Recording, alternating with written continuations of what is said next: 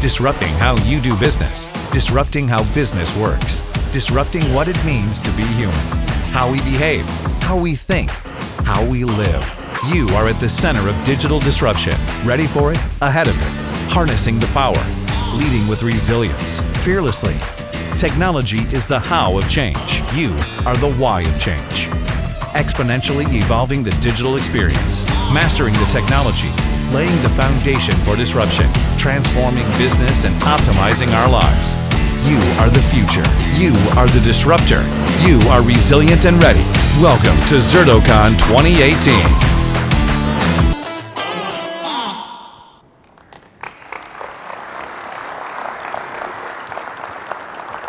Good morning, everyone. Good morning. Welcome to ZertoCon 2018, our first annual ZertoCon. We're happy to see a full house here. Um, really pleased to see how this place is growing every year, again and again. Um, just before we're starting with our keynote, my name is Gil. I'm the uh, Chief Marketing Officer of Zerto, if you don't know me. And just a few kind of like housekeeping notes, and then we'll uh, switch right to our keynotes. So, first of all, uh, really packed two days agenda. A couple of pointers there. Today, 1 p.m. sharp here, our big uh, uh, keynote of the conference, our CEO is gonna really have some exciting announcements, so be here sharp 1 p.m. because we're going to start on time. Then uh, we have the, uh, of course, it's uh, lots of sessions before and after the keynote, and then we'll do a little bit of a whole crawl uh, with some food here in the conference, and then we'll be moving to our party in just next to Fenway there in Jillian's. There will be shuttle buses here downstairs, uh, uh, just like walk down the conference, and there will be shuttle buses there. So remember, uh, sessions, keynote, sessions, drinking, party, okay? Uh, very easy to remember. Uh, we actually have our, we're featuring our own band and that's gonna be amazing. And it's a very fun place there. Um, here, first of all, I wanna thank our sponsors. Okay, we have uh, lots of uh, sponsors, both our alliance partners and uh, cloud service providers. They're all there in the hall. Please take the time, go see what they have to offer because there's some really, really cool things out there want to talk to you about and uh, offer for you. We have the labs. Anybody that didn't sign up for the labs and want to do some certifications or anything like that, the labs are all the way down the hall, and you can just like uh, you know take advantage of being here, try the product, try to, uh, or maybe even do a certification. Okay, just making sure I didn't forget anything because then someone will, I'll be in trouble. Ah, good. So a few notes, uh, uh, a few pointers about our keynote speaker. First of all, he's actually a local. He was uh, raised in Boston. Second, he's a frequent, uh, uh he's a frequent uh, appearances on uh, CBS. He's actually every week on CBS TV. Okay, he wrote a book about the Cold War. Okay, which is I found very interesting. he actually led the digital transformation in the New Yorker and right now, I'm really happy to welcome the editor-in-chief of uh, Wired Magazine, Nick Thompson. Welcome, Nick. Thank you, Gil. Thank you. All yours. This is a very, this is a very kind introduction. I'm um, very happy to be here because May is the most beautiful month in Boston. Secondly, because everybody I've talked to this morning, a whole bunch of them, is a Wired subscriber, so you are my people. I'm very happy. And third, I used to be a musician, and so I believe the last time I was on a stage in Boston. It's about 15 years ago, and the woman who preceded me threw up on a pool table while I was playing. So if we can do better than that, we're off to a good start. Anyway, thank you. Thank you for um, inviting me here to Zerto, and I am going to talk about this, the future of being human. Um, and so what I'm going to do is I'm going to talk about some of the most interesting technological and scientific transformations that we're going through, things that will change the nature of how we're born, how we die, how we live, how we relate to each other, how we work. I'm going to do it chronologically, from birth through death. And my starting point is this. Technology does make things better. It improves things. It makes our lives richer. Sometimes that's hard to see. I think you probably all believe that. You're in the field. But it's also the case, and this is the reason why I love my job at Wired Magazine, that there are choices we make about the way technology develops, about the scientific things we do and the scientific things we don't do, about the way algorithms work, that change the way we relate to each other and change the way our species works and change the whole nature of what it means to be human. And there's a set of choices that we make as a society. Sometimes we don't even know what those choices are, but they're profoundly important and profoundly affect the lives of our children and even the lives that the rest of us will live.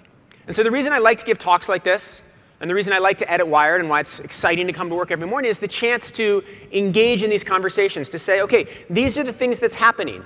Let's figure out how to do it right. Let's figure out how to do it better. Let's figure out what's good. Let's figure out what's bad, and let's do that and not that. So that's my starting point. And it's particularly important because I genuinely believe that technology has been improving. It has been improving. It is improving steadily. It has been improving in amazing ways, and it is about to go much faster. And the reason for that, there are a bunch of reasons for that that I'll get into, but one of which is that we're about to reach the moment where computers are unambiguously smarter than us in all domains. And not only that, but where the computers will be able to build the next set of computers. And I believe there'll be an acceleration to technology. Similar things are happening in science, particularly since so much of science is based on silicon chips, is based on technology, is based on computers. So as computers improve, the science improves. You're all familiar with this, Moore's law. Right? Technology more or less, the speed of transistors more or less doubles every year and a half. That doesn't sound like a ton, doubling every year and a half until you expand it out a bit, right? It means that in, you know, eight years, it's 100 times better. So the phone you have that cost $800 in a few years will cost $8, right? And in 15 years, technology is 1,000 times better. And that's wild, right? It means the little phone you have in your pocket has more computing power than the supercomputers that Ronald Reagan had at his disposal at the height of the Cold War. And not only that, but the technology will just keep improving. It will not stop. And it will not stop because the machines we build help us build the next machines. And so Moore's law will just continue. And I think with some of the technologies I'm going to talk about later, it will accelerate, perhaps. Right? This is the point Marc Andreessen making that point. Innovation accelerates and compounds. Each point in front of you is bigger than anything that's ever happened. This does not stop. There is no moment where you catch up to technology, where suddenly it's advanced enough and you've got it. It doesn't. It just goes faster and faster and faster. And so I'm going to talk a little bit about how to live in that world, the world where technology just gets faster, where each invention helps us get to the next invention, which then helps us get to the next invention and the one beyond that. And the trouble with this, or the complexity with this, back to what I said at the beginning, science, ga science gathers knowledge faster than society gathers wisdom. The technology improves faster than we're able to understand it, faster than we're able to figure out what it's doing to us or figure out what it's doing. George Kennan, who I wrote that book about, said that it's a very dangerous thing when the world of the father is no longer relevant to the world of the son, where technology has changed so much that our children can't understand what we understand. And so that's, again, why I like these conferences, why I like these talks, why I like these conversations, because it's a chance and a moment to reflect on this and to think about those big changes. And then I want to, before I get right into the chronology, this is, I think, is a very important thing to remember too. I'm going to talk a lot about a lot of complicated things that can seem maybe bad, maybe dark. But basically, you can follow this grid with all technology. So let's use AI. Will AI make us all geniuses? No. Will AI make us all morons? No. Will AI destroy whole industries? Yes. You could also put in cryptocurrencies. You could put in anything you want here. Will AI make us more empathetic? No. Will AI make us less caring? No. Will teens use AI for sex? Yes. Were they going to have sex anyway? Yes. Will AI destroy music? No. Will AI destroy art? No. But can we go back? No. Will AI bring about world peace? No. This is a good chart to just remember. This is the stages and the conversations we always have about every kind of new technology. And mostly, it's good. OK, great. Childhood. So um, the nature of childhood is changing in some very interesting ways. And the first of which is who gets to have children. So we're on the edge, or not on the edge, we're maybe five or 10 years away, not from IVF, but from IVG, from the capacity to take a human cell, you know, taking it from the inside of your cheek, and transform it into sperm, transform it into egg, and then implant into a womb and have a child. So what does that mean? Well, it means that an individual could be both the mother and the father of a child means that a gay couple could have, same-sex couple, same -sex couple could have one provide the sperm, one provide the egg, whether they're both female or both men. It means that you could completely change the nature of who can have children and who can have families, which is great, right? And this is why, it means somebody who's infertile can have a child. Or it means somebody who wanted to have a child with their spouse and their spouse died suddenly can take hair follicles from the hairbrush and turn that into the sperm or the egg. And that's good. It's very good. And you can see cases where it's unambiguous that the goal of the scientist should be to make this technology work. And you can also see cases where it starts to get a little more complicated, where it starts to change the nature of how we relate to each other. Combine this with CRISPR.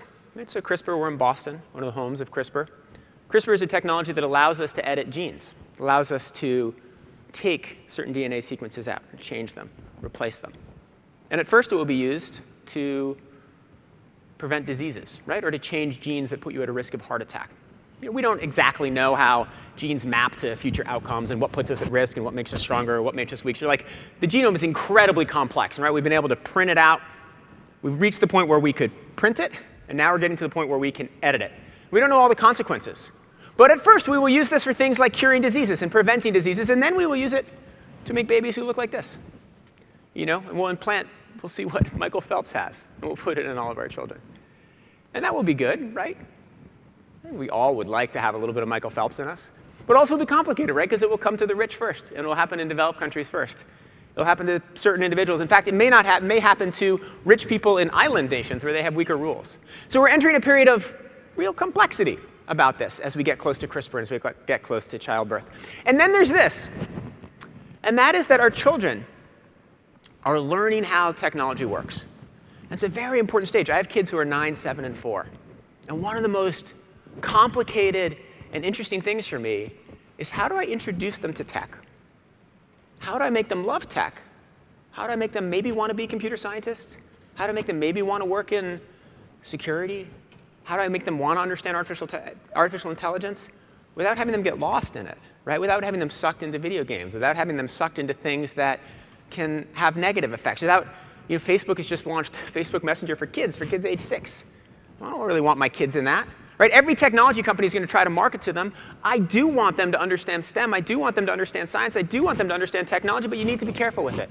It's one of the most interesting things for a parent. Because you see, every one of you has a kid has probably seen at age two how they react to an iPad or how they react to an iPhone and the lights coming out on the screen, and it's hypnotizing in a way that's scary. But also, the future we're about to head into, a world they need to be able to grapple with. So that's another interesting thing about childhood. It's an adolescence. It's one of my favorite cartoons, too. Um, I'm going to tell a story about, about teenagers. So when I started this job at Wired, um, I got an email from this guy, from Kevin Systrom. I started, I started the same week as Trump, so I've been here about a year and a half. Uh, and a couple months in, I got an email from Systrom asking me to coffee. And I have a very general, very specific rule, which is that if a billionaire invites you to coffee, you say yes. Um, and so I went to go see Kevin. I went down to Menlo Park to go see Systrom.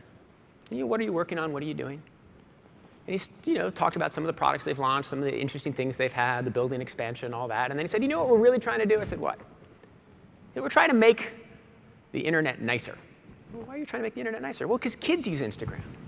We're trying to make it a place where kids don't get bullied. Well, that's an interesting idea. Trying to make it a place that's safe for younger people. And how do you do that? And it turns out the way you do that is really complicated and has some interesting trade-offs that I want to talk about. So what he did is he started building a set of algorithms and a set of product changes to make Instagram nicer, to change the whole tone of it. First one, um, he beta tested on Taylor Swift's Instagram page, which I think is hilarious for all of you in the room who know when you launch a product, you probably don't want to launch it on the highest stakes uh, account on your service, but they did.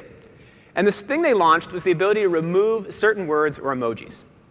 Miss Swift had gotten in a fight with Miss Kardashian. I can't remember what it was about, but it was severe. Miss Kardashian's fans had put a whole bunch of green snakes on Taylor Swift's Instagram page, which is not nice.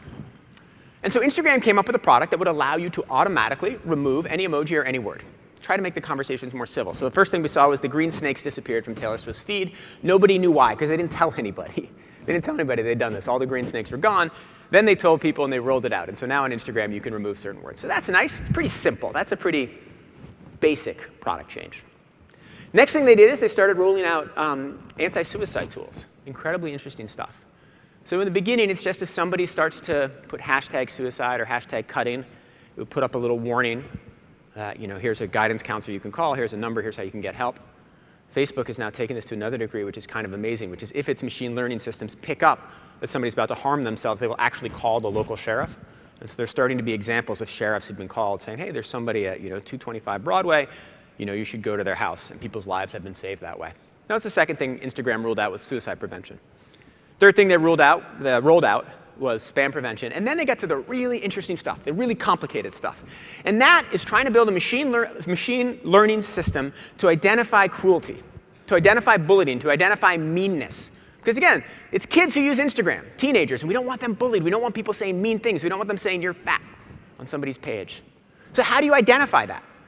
And so Instagram worked on this really interesting project. They hired a ton of people.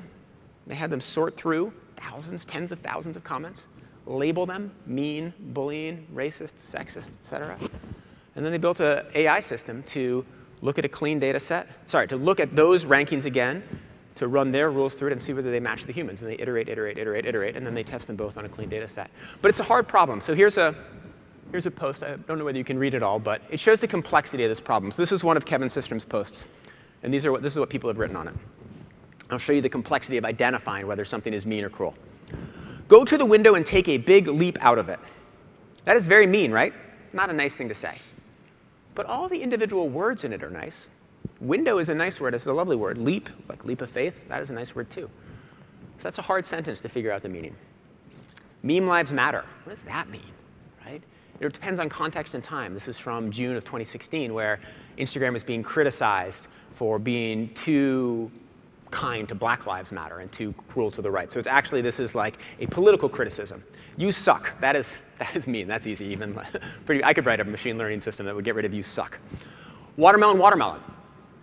I don't know. I saw that. I thought that was nice, right? It's picnic or something. Turns out it's sexual innuendo in the context that it's in. You can delete memes, but not cancer patients. I love meme lives matter. The point is, it's really hard to identify what's cruel and what's not cruel. And so Instagram spent a ton of time on this. This was the biggest project for Instagram over the last year and a half, and they didn't really tell anybody about it. And then they rolled it out. They gave me an exclusive look to go meet with all the engineers. That's kind of amazing. You go to Instagram now and you type something mean and it just disappears. You see it, it appears on you. You, you don't know that it's been removed, but if you write something mean on my feed, I can't see it and no one else who comes to my feed can see it. Only you can see it. Or I write something mean, it's in reverse. And that's kind of incredible. It's really interesting and it makes Instagram nicer, right? That's good. It's better for kids. That's the goal. One of the reasons why Instagram use is picked up for kids, I would imagine, because there isn't as much bullying, there isn't as much hate, there isn't as much cruelty. It makes parents more likely to let their kids use Instagram. But it's also kind of crazy, right? Because we live in a country where one of the principles is free speech, the right to say what you want to say. The way conversations in this country work, they happen on social media platforms, a lot of them. And now one of them is just vaporizing content. And it's vaporizing content because of machine learning systems that have identified something as cruel. That is a hard, weird thing. So I asked Kevin about that. Well, there's a age-old debate between free speech mm-hmm. and oh, like what is the limit of free speech? And is it free speech to just be mean to someone? And I think if you look at the history of the law around free speech, et cetera, you'll find that generally there's a line where like you don't want to cross because you're starting to be aggressive or be mean or or racist and you get to a point where you want to make sure that in a closed community that's trying to grow and thrive, you make sure that you actually optimize for overall free speech. So if I don't feel like I can be myself, if I don't feel like I can express myself, because if I do that, I will get attacked. That's not a community we want to create. So we just decided to be on the side of making sure that we optimized for speech that was expressive and felt like you had the freedom to be yourself. So that's defensible, right? That's interesting. I kind of like that philosophy for my kids, but it's not James Madison. And it's one of those, what, what I mean when I say that we're making decisions right now that have a huge effect on the way our society develops. The fact that we set free speech as principle for America had a huge effect on the way America developed. And to some extent, I mean, obviously he doesn't have the power of the writers of the Constitution, but in some extent, he is writing a Constitution for the 500 million people who use Instagram, and he's making a choice right there. He's making a choice about how to value speech, how to value free speech versus bullying and the other things he's getting rid of. So that's the kind of choice we're making as society, or that we make in the technology community, in the technology world, that's profound. And this one will have a huge effect on teens. All right, let's move a little later in life. College and the years of rebellion. So I remember very distinctly. So my job has more or less been long-form journalism, right, since, since I gave up on that music thing. Um, working at magazines that publish long magazine stories, 5,000 words, 6,000 words, 10,000 words, 20,000 words. And I remember getting so scared in about 2005. There's all this research. You know, kids don't pay attention. No one can pay attention to anything anymore. No one reads anything to completion. You know, it's just going to get shorter and shorter and shorter. And I was like, I should probably quit this field, right? Because if college kids aren't reading, then uh, what's, the, what's the point? If everything's just going to get shorter and we have no attention spans? It's my favorite cartoon, by the way, I think, in the history of cartoons. And I remember that, and I remember thinking I should leave, and I remember reading an interview, it was in the Atlantic, I believe, and this is a Rhodes Scholar, a couple years younger than me. I don't read books. I go to Google and I can absorb relevant information quickly. I remember just that quote just stung me. Right? If America's Rhodes Scholars are not reading books, what is the point of my job? You're just going to write to an older and older demographic, and eventually they're going to go away, and no one is going to read what you do, and there's no point. But I stuck it out, and I stayed with it. I was at the Legal Affairs at the time, a law magazine in New Haven, and I moved to the New Yorker, moved to Wired, and then to the New Yorker. It turned out that it seemed like people were reading. In fact, in the New Yorker, I got to see all their Omniture, partially Chartbeat dashboards. people were really the reading the longer stories. In fact, they were reading them beginning to end. If they got through the first 15% of the story, there's like a 95% chance they'd get to the end. So they, they read everything. I was like, huh. I remember going back and thinking, I wonder what happened to that guy whose quote really stuck with me. What happened to Joe O'Shea? So I Googled him, looked him up. He's an author. he writes books. And I talked to him. He's like, oh, yeah, I just was just reading a remembrance of things past. I thought, huh. And then I started thinking about it more. And it turns out that basically every element of the culture, you know, we are, our attention spans are shortening in certain ways, but the complexity of books, of culture, is just getting deeper and deeper. Right? Think about TV. Think about MASH, good show, right? Well, think about the complexity of MASH versus the complexity of Game of Thrones. World of difference. The characters, the storylines, the plots. Because we have the internet, we can have communications, and we go to Wikipedia and see what season three, episode seven was. Because we can follow this, because we can look things up, because we can have Reddit conversations, because there can be constant follow ups on every website, our complexity to absorb and follow really intense storylines has just gone up. Same thing is happening you know, in the magazine world, where the best stuff is, in fact, longer, deeper, more complicated. Think about serial, right? Think about that versus radio that we used to listen to 10 years ago. So this is one thing, one thing where I am absolutely optimistic and I'm extremely pleased. I was terrified that we were ineluctably, our attention spans were getting shorter and shorter, but just does not seem that way at all. The evidence is to the contrary. Yes, we use Snapchat. Yes, we use Twitter. Yes, we do short things. Yes, my text messages, I put you instead of YOU. But we are getting to read more complicated stuff, and I think that is a great thing. So that's an important part of kids in their early 20s, a very important thing to remember. And I want to talk about something else that happens at that age, which is political protest, which I think has been profoundly shaped by technology.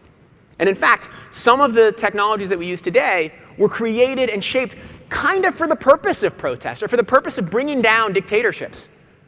Remember, that was the notion of Twitter during the Green Revolution, right? The United, remember, the United States government policy planning staff asked Twitter not to do a service, uh, service outage repair during the time of the Green Revolution. It's what helped get people together in Tahrir Square. It's a profoundly important thing. But this is Tahrir Square, and this is Wael Ghonim, the Google engineer who helped organize that. And one of the things we learned about political protest, which I think is really important, that we started to learn in about 2009, 2010, is that it is a great tool for young people at that stage in life, or for anybody, to get together very quickly and form weak bonds very suddenly. it's very good for fueling outrage. It's very good for bringing down governments. It's very good for quick mass action. You can see it with the Parkland students, too. You can see the ability to very quickly get the attention of a country, very quickly make a lot of change. But what we haven't seen is the capacity for technology to create weak, stronger bonds for the people who bring about the change to then govern or to bring the full transformation that they want. It's led to a lot of episodic protest, but we haven't seen the long-term gains. And part of that, you know, we see this very clearly in the Arab Spring, which maybe happened too quickly. Maybe the government, I mean, obviously, the reason the Arab Spring has not brought democracy and peace is not just because of Twitter, right? I mean, there are like 100 factors that are bigger. But perhaps one, one factor is that technology made everything happen too fast. Maybe it does make political protests go too fast. Maybe it does spark outrage cycles that are too quick. It also, in American politics, it leads to people who are able to take advantage of the episodic short surge of adrenaline that social media brings having success. You know, Donald Trump, I think I wouldn't be here if it wasn't for Twitter. He is one of the greatest users of Twitter there is. That's not to say good or bad, it's just that I think in the future, candidates like Trump who are able to capitalize on our outrage will have more success than people who move a little bit slower, who think a little more cautiously. If you think about some of his, like a John Kasich candidate, will have a much harder time uh, surviving and thriving in a period of social media affecting politics. So that's interesting and could lead to good. It could lead to bad. I spent a ton of time on this in the context of Facebook. You know, I spent, I wrote 11,000 words with my writing partner, Fred Vogelstein, about what happened at Facebook in the last two years. And the short story is in the spring of 2016, they were accused of having political bias. They're accused of being biased against Republicans. And they know they can't do that, right? They're supposed to be connecting the world. They're all Democrats, right? They're Silicon Valley Democrats. Sheryl Sandberg is going to go work in the Hillary Clinton administration. Besides Peter Thiel, basically everybody with any power at Facebook is a Democrat. And they were very worried, though, about political bias because they didn't want to be regulated. They know where power is. And so what they did is when they were accused of political bias, they basically stepped back and they stopped and they stopped doing anything. And the problem was at about that same time, this is May of 2016, where they're accused of having bias, where they you know, bring 17 Republicans out to, fa to Facebook to you know, have a meeting and break bread right about then is when we start to see a crisis with fake news, where we start to see stories where Macedonian teenagers or people even from Marin County realize that you can put stories online saying that the Pope has endorsed Donald Trump and it will get lots of traffic and drive attention and dollars. They don't even care who wins. They're just trying to monetize our outrage. Same time where the Russians started to really you know, use the platform, and Facebook put its head in the sand. And so that was one problem during the election, Facebook trying so hard to appear neutral that it actually didn't pay attention to the problems on the platform. The other problem, and it's a more core problem, is that Facebook's algorithm, again, like Twitter, is designed to get our attention, to spur outrage. If I put something on Facebook that says Donald Trump sucks, it will get lots of shares, likes, and, and it'll spread. If I say here's a complicated argument about why his net neutrality position is wrong, it won't go anywhere. Facebook's algorithm, because it's been tuned to our sort of emotional instincts, encourages that kind of, out, kind of outrage. And that, I think, is something that really helped Trump win. It also helped Obama win. It's not, it's not partisan. It's that candidates who develop strong emotional responses with their supporters have a much better time on social media platforms. And during the 2016 election, it was used by Trump better than anybody else before. And so Facebook since then has been grappling with that and dealing with that.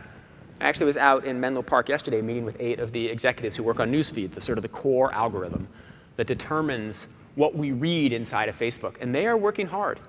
They understand that they can't be a place where misinformation spreads or misinformation is created, and they're trying hard to stop that, but it's baked deep in. And it's hard to unbake. And that is one of the great technological challenges is can Facebook fix itself? That's one of the things I'm most interested in the world of tech and will have a profound, profound effect on politics in this country. I mean, there is no question in my mind that social media is one of the main reasons why Donald Trump was elected. You know, again, I don't want to be partisan either, whether you like him or not, but it has a profound change in this country. And so these algorithms are at the core of one of the most important changes that happened in America, which was the election of Trump. All right, so now let's move to adulthood.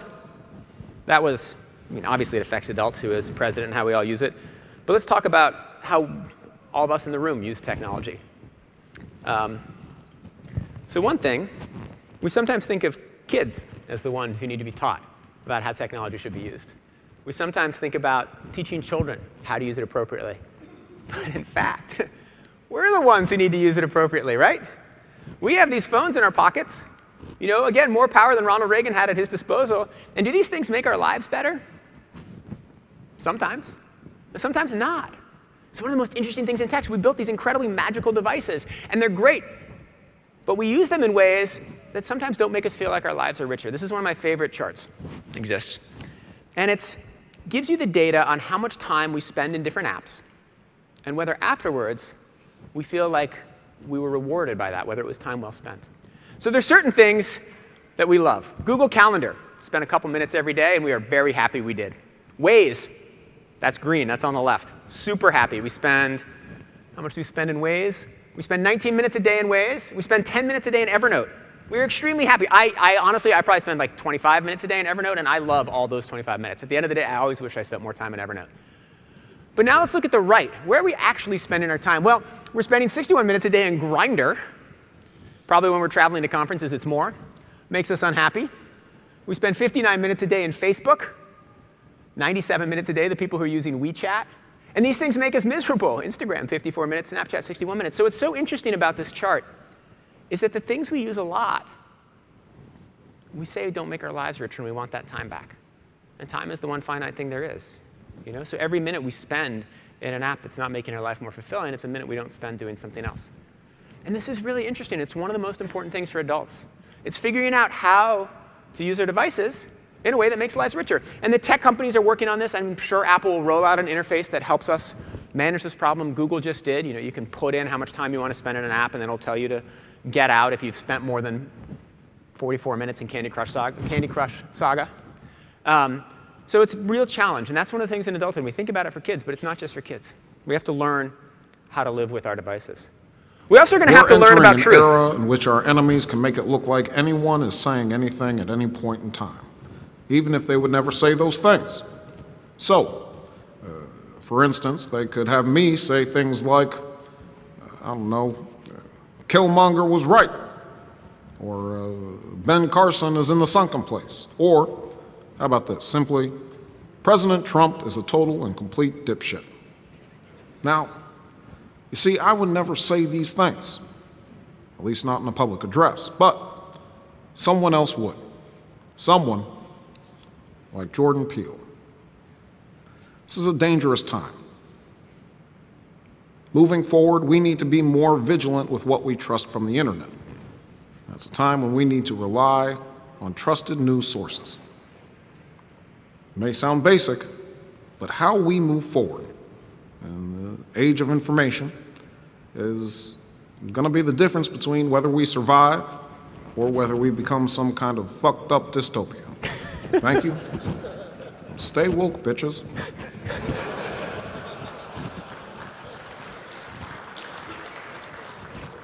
I laugh every time I see that. And it's amazing. And it was using artificial intelligence and the incredible improvements we have in voice technology and the incredible improvements we have in image recognition technology to create something totally fake. Obama didn't say any of those words. That's a complete script. And what's so interesting is that we realized in the last election cycle, we were tricked by Macedonian teens, right? What's going to happen two election cycles down the road? And one of the questions I asked at Facebook is, OK, you guys are working hard fighting disinformation in text. Next, you have to fight disinformation in images. You're going to have to fight disinformation in videos. Then you're going to have to fight disinformation in virtual reality. And maybe you're going to have to fight disinformation in like neural link interfaces. That's a really interesting problem. But it's something for all of us. How are we going to tell what's true from what's fake? And it's an arms race, and it's adversarial. Because the people who want to manipulate us will be very good at creating things that are fake. And I think this Obama video, despite being hilarious, it is true. You know, this is, you know, figuring out what is real and what is fake is one of the things that will prevent us from becoming a fucked up dystopia. So I want to talk about AI for a minute. Because AI is the technology behind what we just saw, and AI is the technology in front of all kinds of amazing things. Those are my favorite quotes about AI. AI is one of the most important things humanity is working on. It is more profound than, I don't know, electricity or fire. That's Sundar Pichai. What's interesting about this quote is I could say the same thing, and it would be like a prediction. Sundar can say it, and because he thinks it, it will be real. Because he has the world's most powerful corporation at his disposal. And so if he genuinely believes that AI is more important or as important as electricity or fire, he will make AI as important as electricity or fire. Because he has all the resources in the world, the talented engineers, the data sets. AI is built on data. Google has nothing but tons of data. So this is a really important moment where Google is transitioning, making all of its products based on AI, because it means the world will come along with it. The one thing, I, whenever I see this quote, it makes me stop. If it's one of the most important things humanity is working on and is more profound than electricity or fire, what the hell are the other things that are more important than the thing that is more important than electricity or fire? Anyway, let's see what Google has done with this stuff. Here's something they rolled out uh, two weeks ago. See how may I help you? Hi, um, I'd like to reserve a table for Wednesday the 7th. For seven people? Um, it's for four people. For people when Um, Today? next Wednesday at 6 p.m. Oh, actually we reserve for like after like uh, five people. For few, for people you can come. So the voice on the left, the one you could totally understand, was AI generated. It's a machine. And the voice on the right is a real one. And it shows how far we've come, right? Because I remember a few years ago, you couldn't even talk to Dragon Speak and have it understand. And then we reached the point where you could talk to Alexa or Siri and it would understand what you were saying, or Cortana. Cortana. Now we've reached the point where Google, now this is within a relatively small domain and it's reasonably scripted, but that was a real call to a real restaurant. Reporters are still trying to figure out exactly what restaurant in Palo Alto they called, but no one has found it quite yet. Um, but that is amazing. Like that we can go from where we were in voice capabilities and understanding context and semantic analysis and get to that point, that is crazy. And it's a little bit creepy, right? And all sort of all AI technology kind of goes against the edge. And Google, you know, for some insane reason, didn't have their robot announce that it was a robot, which led to a lot of criticism. But it is incredible technology. And so one of the things I think about is what are some of the questions with this technology? And sometimes I worry. I worry that the United States isn't doing enough. You know, there are companies that are doing enough. There are companies that are thinking through all the complexities of artificial intelligence. But is our government? And that was something that was worrying me. But I recently just had a 45 minute, maybe an hour long conversation with the president about questions like that, about whether an AI system has real military value, whether you can use an AI system to actually kill somebody, whether you can trust a computer to make that decision, whether AI will concentrate power too much in certain companies, what the role of the government is in opening up data sets, whether there's certain cultural values that need to be embedded in the data sets, whether there should be rules about transparency. It was a really interesting conversation. I was impressed every step of the conversation with the president and the way he thought through all these things. It was illuminating. But wasn't the president of the United States, it was the president of France. It was Macron. You know, France has a national AI policy. Britain is now developing a national AI policy. China has said that one of their most important things is to have AI dominance, whatever the heck that means. I don't know whether it's in research products, military tech, or whatever. Have AI dominance by 2030. It's one of the most important things for the government. The United States kind of let it slide. We had a meeting at the White House last week. Good, good first step, but we've backslid a lot. And it's one of the things I worry about. You know, we have this technology that's coming, profoundly important. As you can tell, just from that Sundar call, this technology is going to change all kinds of things. We, you know, maybe it won't change as much as the optimists say. Maybe it won't be more important than fire, but it's going to be really important. And our government needs to be thinking about it. So that's something I worry about. All right, so now let's go to the next stage in life, which is work, not just adulthood and the sort of the existential problems we have, but will we actually have jobs in the future? I can't answer that, of course. Who knows? But uh, I can give you some scenarios. This is how I like to think about the AI and robotic transformation. There's sort of three ways the people I know well think about it. First is the way my colleagues at the New Yorker, my friends in New York, think about it. And that is that humans and machines have had a complicated relationship. And ever since the you know, 1900s, people have said the machines are going to take away our work. You know, my God, the car is going to get rid of the jobs for the horse and buggies. But mostly it's worked out. But now we're reaching a point where computers really will take all the jobs because computers will be able to do all the things that humans have been able to do. They will have dexterity. Robots will have dexterity, this thing that is flummoxed robot engineers. Machines will be able to have creativity. They'll be able to have instinct. There'll be nothing for us to do. In my field, journalism, right? Machines can already do sports reports. Facebook is working on an AI system for fact checking. You can imagine an AI system for copy editing. It won't be too long until they can replace me entirely. So that's scenario one. As computers get smarter, as robots get smarter, they'll basically move up the cognitive chain until we're completely replaced. That's scenario number one. Most dangerous would be, I don't know, think about self-driving cars. Self-driving cars will replace you know, trucking and driving transportation is the number one employer of males in the United States. What happens when all those guys lose their jobs? That's not going to be good, is it? So that's scenario one. Scenario two.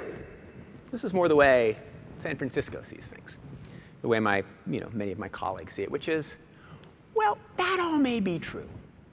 Computers may be getting smarter than us. They will certainly take a lot of jobs but we're probably going to be OK, because we've always been OK. And in fact, if you look at some of the industries that have been most affected, it turns out they're doing fine, right? There was a lot of panic that tellers were going to lose their jobs when the ATMs came along. Well, it turns out the number of tellers has increased since the invention of the ATM, and in fact, they have more interesting jobs. With self-driving cars, sure. You know, a lot of long-haul truckers will use their job, but there'll be people who will put on VR rigs to navigate the trucks through cities. And in fact, the jobs that are being lost will be replaced by better jobs. And if you increase the efficiency of trucks and reduce the number of crashes, you'll be able to move so much more stuff around that you'll create all kinds of different jobs. In fact, if you look through human history, we've mostly been OK. So scenario two is we've mostly been OK, but it's a little bit complicated and we're a little bit worried. And then section three, scenario three, that's Silicon Valley. And that is every time there's been a panic, it's been OK. And in fact, we are worrying about jobs and we have 4.9% unemployment. And in fact, if you look at the data, there is very little job churn in this country. If you thought if robots and AI were really disrupting industries, you'd think there would be a lot of job churn. So the way Silicon Valley sees it is that we're basically going to be fine. In fact, it's all going to be OK. We don't know what we're going to do. My instinct, I'm somewhere between scenario two and scenario three. Maybe a little more towards scenario three. I do think things are going to be good. But I do think this is obviously one of the most important debates we are having. Another thing that I'm really interested for work is the introduction of the blockchain. I say this not just because keynote bingo, you, everybody has the word blockchain on their bingo card, but also because a lot of what's, I think probably in this room you all know how the blockchain works. We don't know whether it will ultimately change a whole lot, right? There are all sorts of inefficiencies. Once you have a system in which all the computers are linked together and transactions have to go through it, it becomes quite slow. Right? Bitcoin is a wonderful system for investment. It's not such a great system for payments because the number of um, transactions that can be processed. But the thing about blockchain is they're all so much centralization, right? One of the great trends in technology is more power coming to a very small number of companies. And the one thing I see out there that could change that is blockchain. The capacity to recreate Twitter, not through a centralized database where it stores all our tweets and has all our information, but through a distributed database where everybody's linked to everybody through the blockchain is a profoundly interesting idea. And I do think there will be, well, not, I can't say that. I think there's a pretty good chance that there will be major disruption due to blockchain, and it will cancel out this flow of centralization. So that's another thing we need to really think about as we think about the future of our workforce. Another thing is quantum computing. I didn't really think this was going to happen. I didn't really think quantum computing was real until recently. So the idea of quantum computing is there's quantum physics that underlies the world where particles can be in both one place and another place, and you observe them, and they're no longer in the same place. And it's really confusing, and nobody quite understands it. But above it, it kind of averages out into a world of Newtonian physics that we understand, where I take a step, and I'm you know, very grateful this is here, and gravity is with me. The no idea of quantum computing is to take the notions of quantum physics and to apply them to the manufacturing of computers. And so instead of representing information in zeros and ones, you can actually represent information as anywhere in a state between 0 and 1. And can create machines that are thousands, millions of times more powerful than the machines we have right now. You know, for those of you in the room, it has, you know, one of the things people talk about is the capacity to crack encryption. You're based on multiplying large prime numbers by each other to be able to factor them. You can actually do that with a quantum computer. The number of calculations that you can do with a quantum computer will be you know, fairly small. It will only be for calculations that require mass computation and not a lot of input as you do the computation. But we're getting kind of close. There's an amazing thing that happened last week where um, Google uh, has declared that they've, you know, they're very close to quantum supremacy. Quantum supremacy. It was the worst branding ever, right? Quantum supremacy, which sounds kind of like Bourne supremacy. Um, quantum supremacy at the time where a quantum computer can do something that a classical computer can't do. And Google's like, we did it, or we're close to it. And then Alibaba was like, no, we just simulated all your results on a classical computer. It was the, one of like the best screw you fights in the tech world. The American companies don't do that to each other. Anyway, kudos to Alibaba for that. The problem, of course, with quantum computing is that they're, you have to get the temperature down to near absolute zero. You need to have a machine. You need to somehow be able to insert the data into the, you know, uh, into the chips that you insert into the machine with the absolute zero temperature. You need to have a machine next to it where it's like four degrees Kelvin. It is incredibly complicated. If there's any earth tremor, if there's any light, it screws up the whole calculation. So we do not know if this is going to happen. We do not know whether it will be useful for lots of things. But having now seen some of the systems, having now seen some of the labs where Microsoft is building topological quantum computers, which may be more sturdy than the ones Google is building, having seen some of what they're building, I actually think this might come in limited ways. And if it does, it'll have a profound effect on many of our businesses. And it will also have a profound effect on us. Because again, the first ultra-intelligent machine is the last invention that man need ever make. So if you can imagine machines inventing machines, and you add the power of quantum computing with the data sets we have in AI, and then you set a machine to create the next machine, and then that machine to create the next machine, that's why when we go back to that slide at the very beginning, which has time and humanity, that's why I think we're at that inflection point. As we reach the moment of incredible, incredible innovation, the machines building the machines afterwards. And quantum, maybe, possibly, perhaps, could do some of that. And so, what do you do in a world like that? What does your company do? What do you do when you have AI coming at you, when you have the blockchain coming at you, and quantum computing coming at you, and all these profound changes? You got to learn to adapt. You know, in journalism, we talk about Every time there's a new platform that comes up, the trick is to understand the rules of the platform and to be wired on that platform, right? To understand how YouTube works and to be wired on that platform. To understand how LinkedIn works and be like LinkedIn. To somehow get the essence of the new thing that is built and transform yourself to that. And so as things move faster and faster, that becomes harder and harder, but it's something we have to do. So adaptation and resilience are the key. All right, stage six in life, retirement after all this moment of work. A couple of things about retirement that are really interesting to me. One, in some ways, we won't really retire. Because one of the things that technology has done is it created opportunities for sort of short-term jobs, right? The Uber driver, you know, leasing out your Airbnb, people who can work for Postmates. And we've always thought of those as jobs that young people do. But when you actually look at the data, there's another group of people that does a lot of those jobs. And it's old people. Because what those jobs needs are flexibility with time, meaning you have some kind of income stream, Flexibility and mobility, you move to different places. These are, this is a couple that we wrote about in Wired. And they drive their RV around the country, and then every October through December, they work for Amazon. And they go to whatever warehouse they need. And turns out there are thousands of people like this, people who either just need a little extra money, lost their retirement savings, can't quite live on Social Security. So I think the nature of retirement is changing because of these sort of these jobs, the not permanent jobs. Because when you're 30, 40, 50, you need to live in one place because you have kids and they go to school and it's hard to move. When you're 60, 70, or when you're in your 20s, you kind of move around. And so in some ways, what I think is going to happen is that people in their 60s and 70s are going to behave a little bit more like kids in their early 20s. And they're going to have some of those jobs. And you're going to have situations like these Amazon warehouses where you have kids who are just learning their first jobs, and then you have adults like these two. So that's an important change. Another important change about retirement is that medicine's getting way better. Because a lot of these technologies are coming to medicine first. If you work on AI, all the companies that have the best AI systems are working hard in medicine because they know that advances in medicine, if you can train your AI system to lead to a medical advance, society will completely accept it. If you lead it to like an advance in how to make restaurant reservations, people might get creeped out. But medicine is kind of given a free pass because it is good. And so this is a story we wrote about. The, you know, again, as I said earlier, image recognition is one of the areas where we've had the most improvement.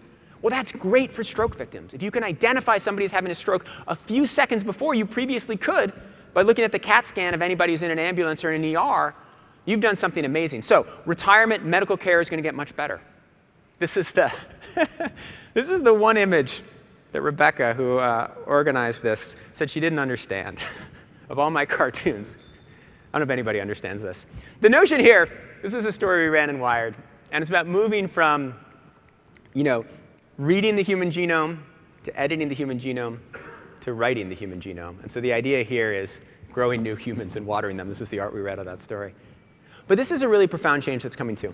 It might be 10 or 20 years, and it goes back to what I said before about the babies, about CRISPR and being able to edit genes. And the notion here is that we can take our genomes, we can look at the weaknesses, we can edit the genes, and possibly we can't just reproduce ourselves to be stronger, we can make ourselves as we are stronger. And that could make a huge difference in retirement as we get older. That's not coming now, but I don't think we're that far away. Remember, first was reading the human genome, the Human Genome Project. Then it was editing the human genome. That's CRISPR. Now it's writing the human genome. All right, so that's stage six, retirement. Let's go to stage seven, eternal life. As you can imagine, this is the last section in my speech, and then we'll move to Q&A. Eternal life, what the hell are you talking about, Nick? So we ran a really interesting story in Wired recently about a guy who's a, good a guy who's a good developer, and his father was dying.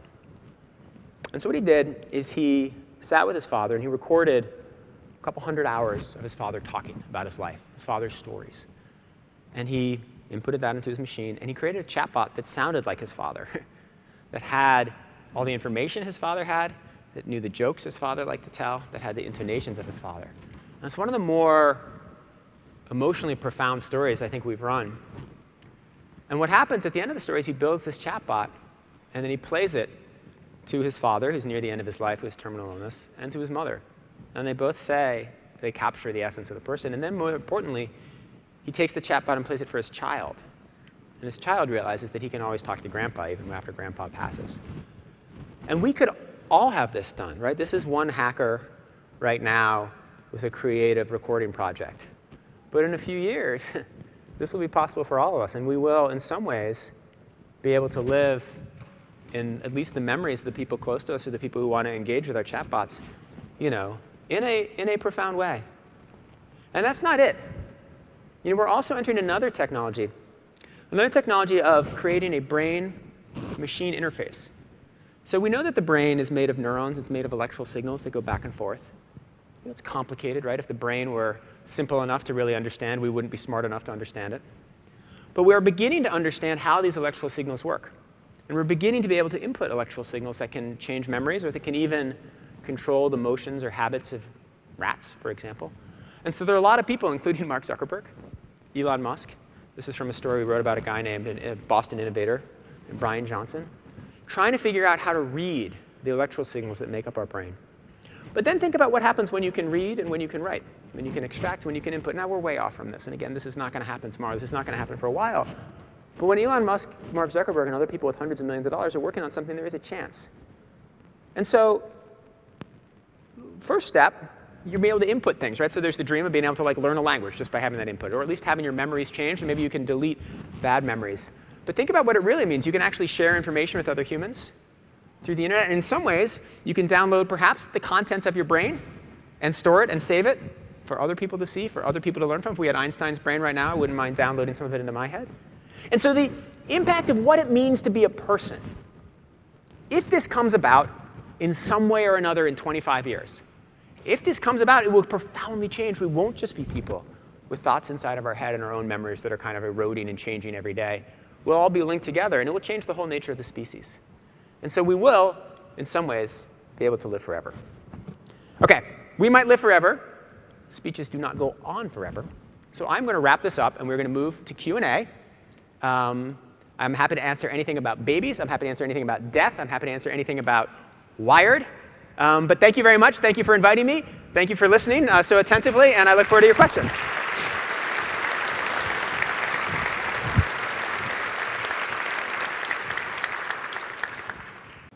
Hi, Justin Warren from, uh, from PivotNine. Um, question about, about the future that you're, you're painting out here. What do you think the interaction of uh, income inequality and the relationship between capital and labour and what we're seeing in the world, how do you think that's going to impact on what you've oh, spoken oh, Man, that is a great question. So I've always, I was really optimistic 20 years ago that technology would improve income, in, income inequality, make us more equal, right? Because everybody would have access to the same things. And in some ways, it has improved equality, right? We all have access to, we all have the same access to Wikipedia.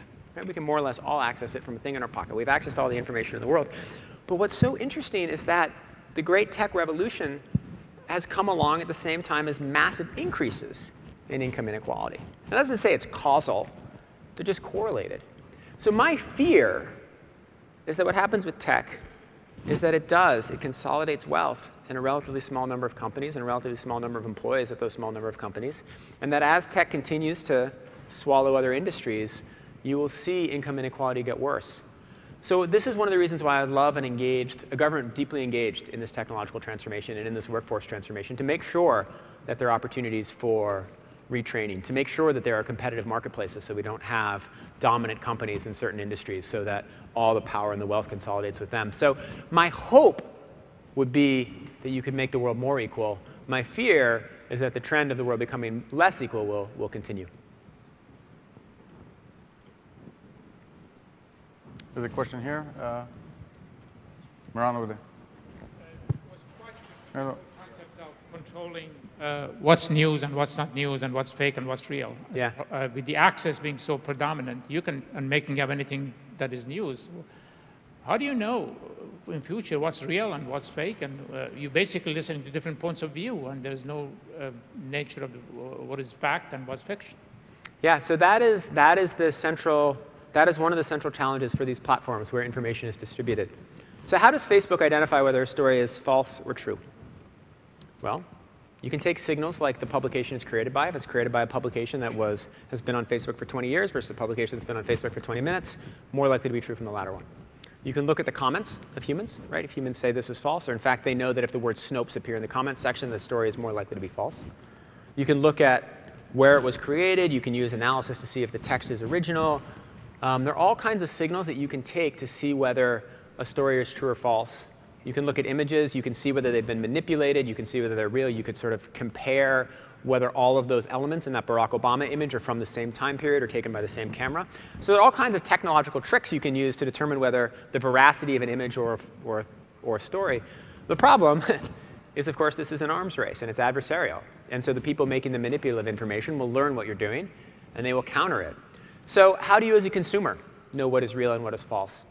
You can't. You can do your best. You can see, is this from a trustworthy source? Has it been shared by people who are trustworthy? Does it seem like it's something that's true? Is there information that backs it up?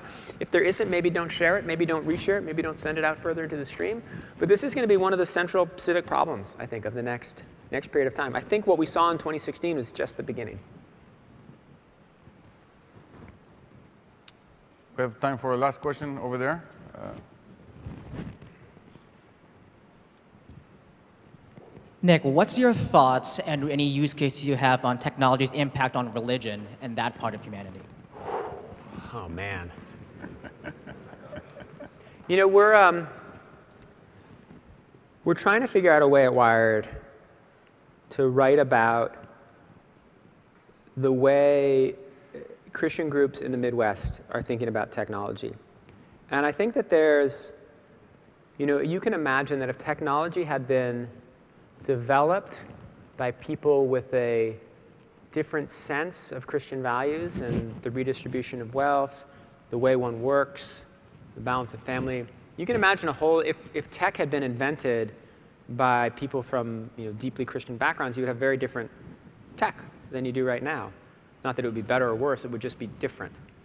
Um, and so that's one thing I think about, right? How do you, how do those value systems mix?